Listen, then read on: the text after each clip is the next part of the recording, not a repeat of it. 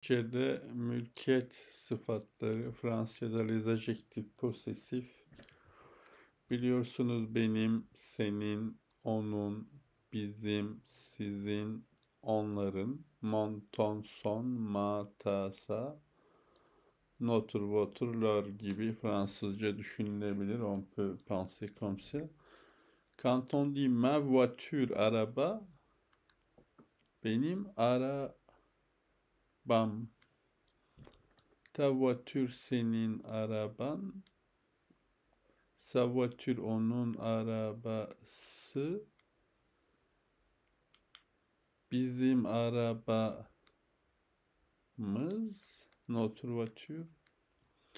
Voiture s- sizin arabanız.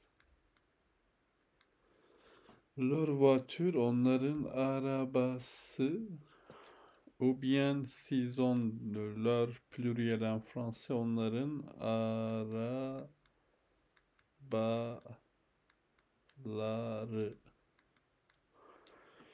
Le mot araba se termine par une voyelle A.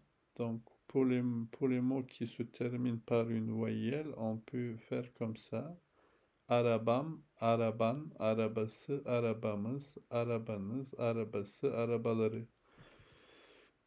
Ev, la maison, pour ce mot-là qui se termine par une consonne. Donc, benim, evim, il faut ajouter i, après e, c'est i. Senin evin, onun evi, bizim evimiz, sizin eviniz, onların evi, ou bien leur maison pluriel, onların evleri. Evim, evin, evi, evimiz, eviniz, evi. Leur pluriel, onların evleri. Il y a des exercices ici. Senin araban var mı? Est-ce que tu as voiture? Bizim evimiz çok büyük.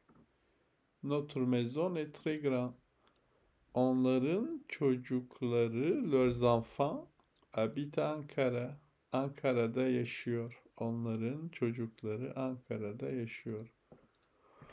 Bu benim en Türk quand on dit kitabım, le P, le changement du radical, on l'appelle, devient B. Donc benim kitabım. Le changement de Par le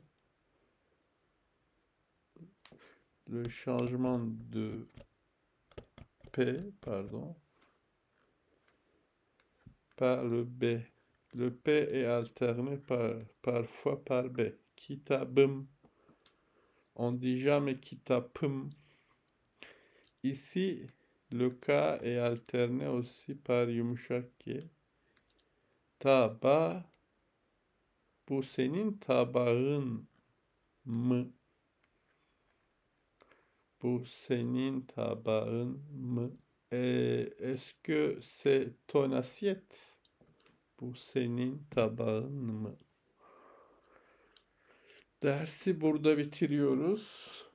Eğer sorularınız varsa her zaman videoların altına sorabilirsiniz. Herkese kolay gelsin. Je vous souhaite courage. Merci beaucoup. N'hésitez pas à nous poser des questions. À bientôt. Hoşça kalın.